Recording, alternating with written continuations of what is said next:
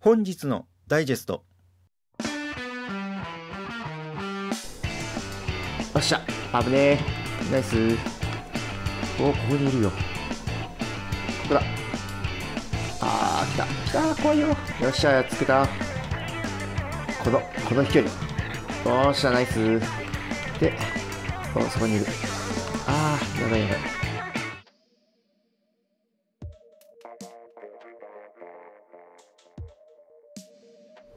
こんにちはエギョです。今週も任天堂 switch のスプラトゥーン2をやっていきたいと思います。今日やる武器はこちらのバレルスピナーという武器になります。サブはスプリンクラースペシャルはハイパープレッサーという武器になります。それでは早速こちらの試し撃ちをやっていきます。このバレルスピナーの特徴としては ZR ボタンを押し込むとこういった形でチャージします。そしてそのまま ZR を離すとこのようにガトリングガンのように弾を発射します。このバレルスピナーはチャージして離す。そういった繰り返しで戦う形になります。この時結構な飛距離がありますので遠い敵と戦う時もこのバレルスピナーは強いです。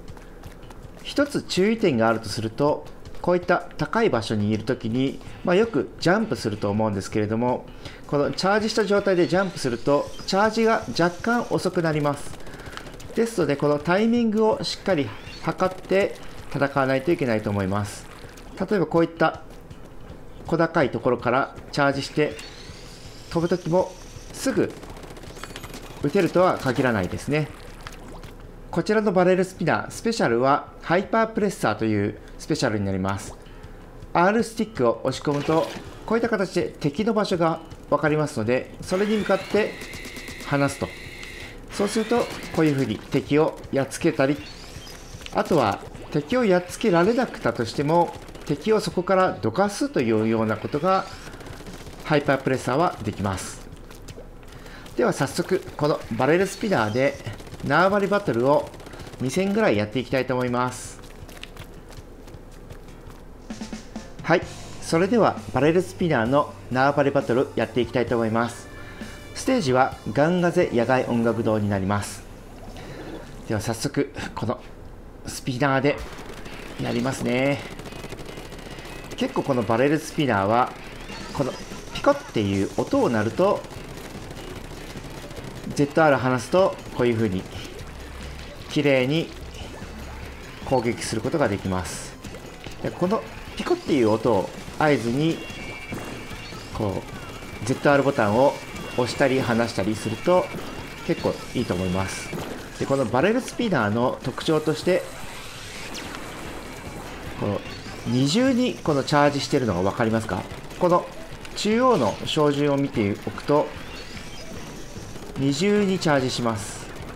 なのでこのチャージの状態が結構長いっていうのがこのバレルスピナーの特徴でもあります。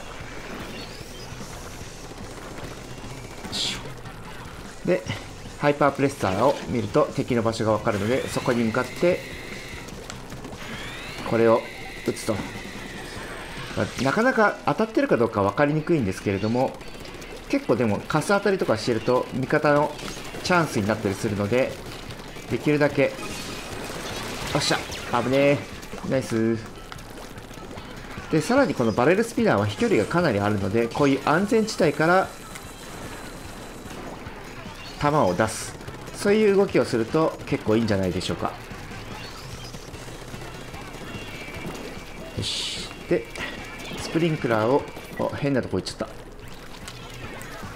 この上のところとかにつけるとああ危ない。ああやられた。スプラバンニューバーでした。よっしゃ。やるぞ。ではでは改めて。結構このスピナーってこうチャージしてるときは一回になるとそのチャージが消えてしまうので気をつけないといけないですね。でチャージした状態でよいしょ。おお逃げられた。やられちゃった。今度はプロモデラー MG ですね。いや結構押されてるな。よいしょよいしょ。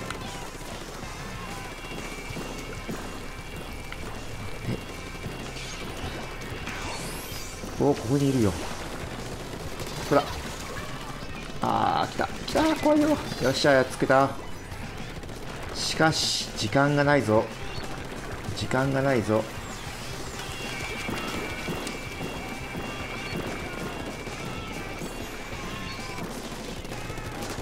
ああギリギリ。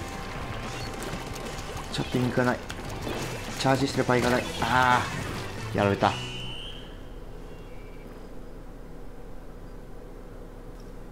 はい。40 40.1%対52.0%で自分のチームの負けです。いやちょっと最初、まあ、初戦ですけれどもなかなかうまく立ち回れなかったんで次は頑張ってやりたいと思います。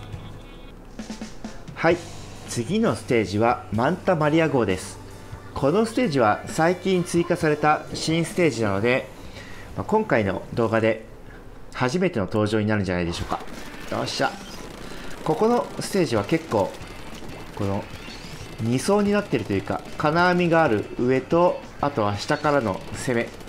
両方できるので結構複雑な地形ですね。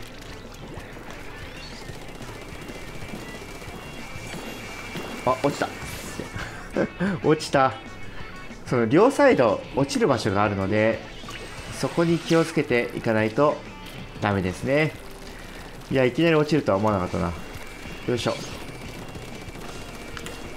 でこのこちらの武器は結構飛距離があるので味方の後ろから少し援護するような形でちょっと今日は戦っていきたいと思います。こういうところねしっかり塗って。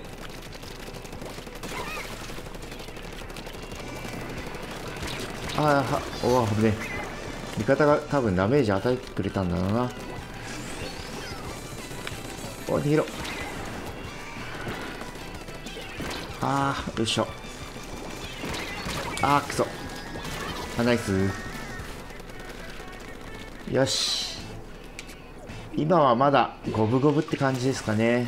若干ちょっと自陣濡れてないんですけれども味方さんが塗りに行ってくれてるみたいなんで僕はすぐ前線に戻ります、まあ、前線といってもちょっと後方支援っていう形ですかね。こういうところでしっかり塗れるのがこのバレルスピナーのいいところだと思います。あこのこの飛距離。おーしゃナイスでおそこにいる。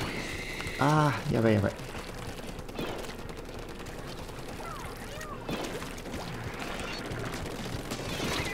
あやられた。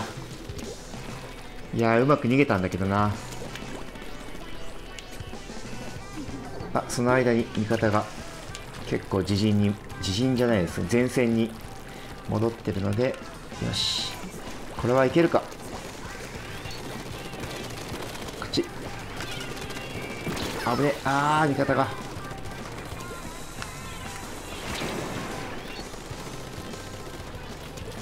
援護する。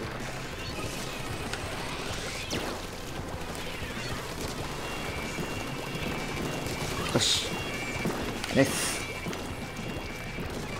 オッケーオッケー。ああすごいすごい。よし今だ。敵全滅なので今塗るぞ。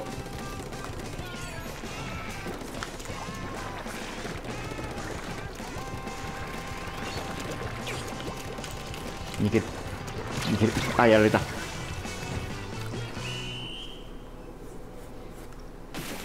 はい。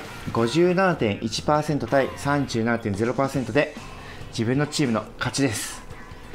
いやなんとかバレルスピナーで勝ててよかったと思います。最近ちょっとこのいろんな武器を使って縄張りバトルやってるんですけれどもなかなか自分に合う武器に出会うのは難しいです。難しい気がしますね、まあ、そんな感じでまた次も他の武器を試してやっていきたいと思いますのでどうぞよろしくお願いいたします。最後までご視聴ありがとうございました。以上エケでした。ではでは。